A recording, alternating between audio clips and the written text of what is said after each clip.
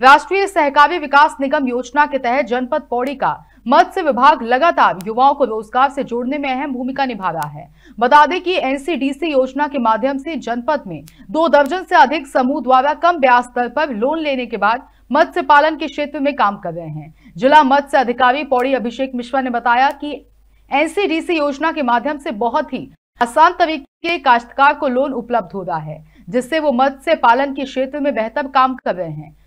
चाकी sad क्षेत्र के अंतर्गत रविंद्र सिंह द्वारा बीते एक वर्ष में नौ कुंटल मत्स्य का उत्पादन किया गया, जिससे उन्हें 50 प्रतिशत के करीब मुनाफा भी हुआ। वहीं रविंद्र सिंह ने बताया कि उन्होंने चार वर्ष पहले मत्स्य पालन शुरू किया और आज उनके साथ एक दर्जन लोग जुड़े हैं, जिन्हें वो गाँव में रहकर ही रोज़गार दे रहे हैं। इस तरह से मत्स्य पालन न केवल आजीविका का मज़बूत साधन बन रहा है, बल्कि अन्य लोगों को रोज़गार के अवसर भी प्रदान कर रहा है। पौड़ी से मुकेश बछेती की रिपोर्ट। सर, जितने भी योजनाएँ आते हैं, ये मत्स्य विभाग हमें पूरे प्रोवाइड करते हैं। क्योंकि मत्स्य विभाग से मेरे को मैं स्वयं से ही वर्क करता हूँ, सर। और जब मैंने, मुझे पता लगा कि मत्स्य विभाग से हमें काफ़ी बेनिफिट मिलता है इस चीज़ के लिए, जो भी हमें फ़ीड के लिए सीट के लिए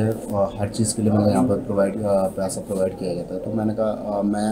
लगातार कांटेक्ट में रहता हूँ यहाँ पर जो भी हमारे सर है। तो जब मैंने खुद स्वयं से काम किया, काफ़ी इन्वेस्टमेंट किया तो इसमें इन्वेस्टमेंट करने के बाद मुझे पता लगा तो मैं, मुझे मत्स्य विभाग से काफ़ी, इसमें काफ़ी लाभ मिला है सर इस चीज़ के लिए, क्योंकि जितना मैंने इन्वेस्टमेंट किया है तो जब रिटर्न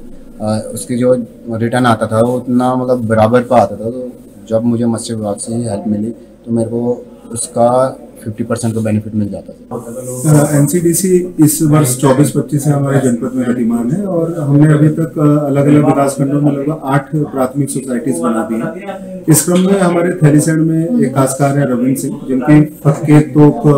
स्वायत्त सहकारिता नाम की समिति है और उन्होंने इसके तहत क्लस्टर में फ़ार्मिंग इनकी समिति ने शुरुआत की है। और इस वर्ष का उत्पादन उनसे हमने जानकारी ली कि उनके द्वारा अवगत कराया गया कि लगभग नौ कुंटल का उत्पादन हो गया। यद्यपि थोड़ा उसमें मोर्टेलिटी भी हुई है अभी भी उनके द्वारा लोकल बाज़ार में ही लगभग ढाई सौ से तीन सौ की दर पे मछलियों को बेचा जा रहा है। दूसरी ओर इस योजना का फ़ायदा यह है कि अगर लाभार्थी को अपना लाभार्थी अंश लगाने में दिक्कत हो रही है तो वो सीधे विभाग को अप्रोच कर रहा है और बिना किसी ज़्यादा फॉर्मेलिटीज के विभाग उनको 9.75